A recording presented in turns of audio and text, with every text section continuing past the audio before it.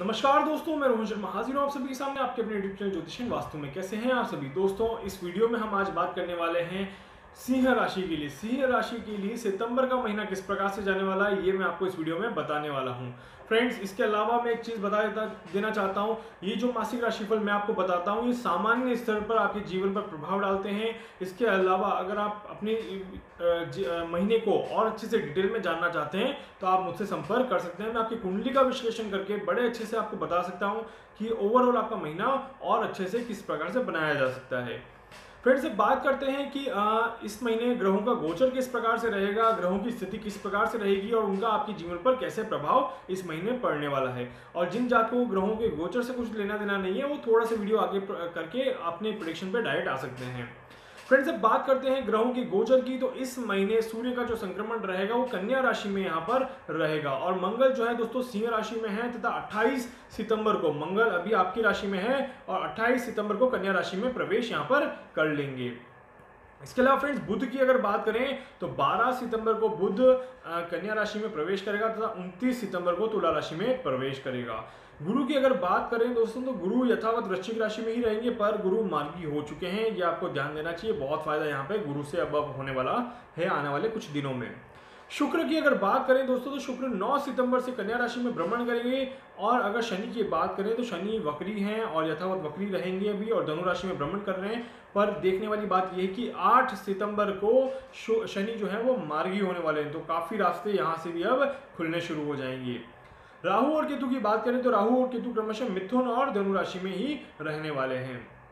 तो ओवरऑल देखा जाए तो सिंह राशि के लिए महीना काफ़ी हद तक थोड़ा सा मध्यम से ज़्यादा अच्छा है। अगर आप कहीं कहीं कहीं ना कहीं गाड़ी खरीदने की प्लानिंग कर रहे हैं तो डेफिनेटली आप इस महीने ज़रूर खरीद सकते हैं। अब दोस्तों, मैं आपको बताने वाला हूँ डिटेल में कि एक सितंबर से लेके दस सितंबर तक ये महीना आपके लिए किस प्रकार से जाने वाला है। एक सितंबर से दस सितंबर की अगर बात करें तो सूर्य बुद्ध शुक्र, गुरु सॉरी सूर्य बुद्ध शुक्र, मंगल का यहाँ पर गोचर आपकी राशि में रहेगा और इन चारों का गोचर रहने से और द्वितीय चंद्रमा की स्थिति बनने से कहीं ना कहीं राहत बहुत ज़्यादा महसूस होगी। आपके काम जो बहुत ज़्यादा डिफ़िकल्ट चल रहे थे पिछले महीने से, इस महीने आपके बहुत ज़्यादा आसानी से यहाँ पर काम बनने लग जाएँगे।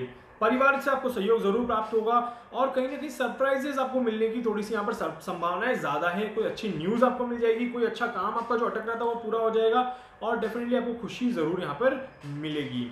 अब बात करते हैं 11 सितंबर से लेके 20 सितंबर तक के बीच में आपका ये महीना किस प्रकार से रहने वाला है तो पराक्रम रहेगा आपका, बहुत ज़्यादा काम आपकी बहुत अच्छे बनते रहेंगे, धन की आवक रहेगी और आपकी राशि के स्वामी सूर्य जो हैं वो आपकी राशि से निकल जाएँगे। तो यहाँ पर एक बड़ी राहत की सांस आप लेने वाले हैं कि एक वो बहुत गर्मी के बाद एक जब पंखा चलता है और जो हवा महसूस होती है, वो हवा आप यहाँ का, यहाँ पर आपको महसूस होगी।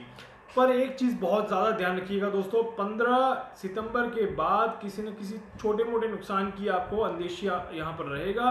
कोई ना कोई छोटा मोटा नुकसान आपको लग सकता है कि यहाँ पर हो सकता है। तो वो थोड़ा सा संभल कर रहें। पंद्रह सितंबर से लेकर बीस सितंबर के बीच में आपको थोड़ा सा संभल के रहने की यहाँ पर ज़रूरत है। अब बात करते हैं दोस्तों 21 सितंबर से लेके 30 सितंबर तक का महीना आपके लिए किस प्रकार से रहेगा? तो मंगल भी आपकी राशि से निकल चुका है। सूर्य निकल चुका था, मंगल निकल चुके हैं और चंद्रमा यहाँ पर तृतीय के हैं तो कहीं ना कहीं थोड़ी सी तकलीफ़ अब आपको यहाँ पर मिल सकती है। तकलीफ़ मिल सकती है, अचानक परेशानियाँ आ सकती है तो उसमें आपको थोड़ा सा यहाँ पर ध्यान देना है।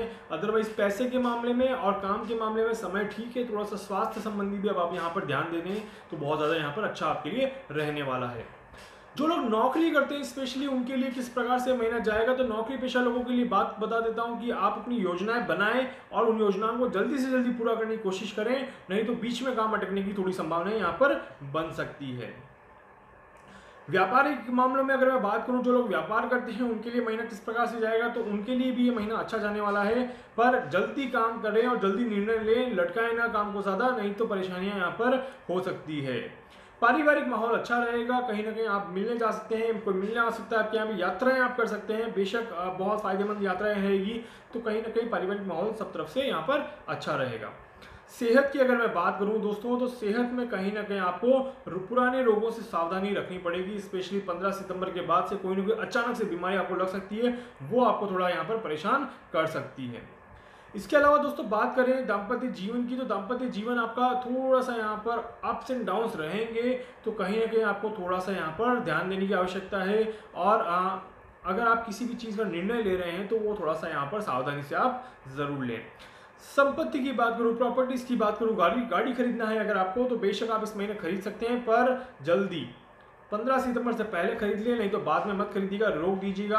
कहीं ना कहीं तोड़ फोड़ की, टूट फूट की एक्सीडेंट के चांसेस यहाँ पर हैं तो थोड़ा सा यहाँ पर आप बहुत ज़्यादा सावधानी रखें।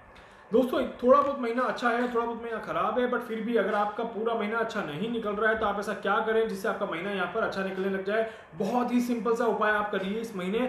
सूरज को सुबह सुबह जल चढ़ाएँ और थोड़ा जल्दी जल चढ़ाएँ। उगते हुए सूरज को जल चढ़ाएँ, ठंडे सूरज को जल चढ़ाएँ। आपको बहुत ज़्यादा फ़ायदा यहाँ पर इस महीने हो जाएगा।